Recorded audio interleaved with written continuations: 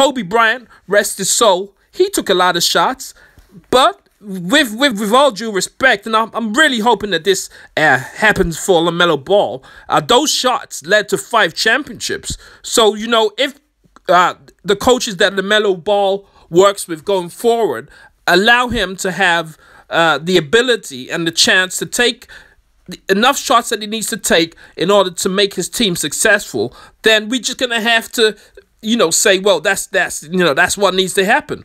But if he's not scoring moving forward when given the opportunity, then we're gonna have to look at things a different way. You know what I mean? So Lamelo Ball, I I would see that you know, he's just he's just showing some flashes of brilliance. You know, I'm not gonna I'm not knocking him. Obviously, he's not scored, but in terms of brilliance and some of the passing that we saw that he exhibited and the timing, and obviously the, another thing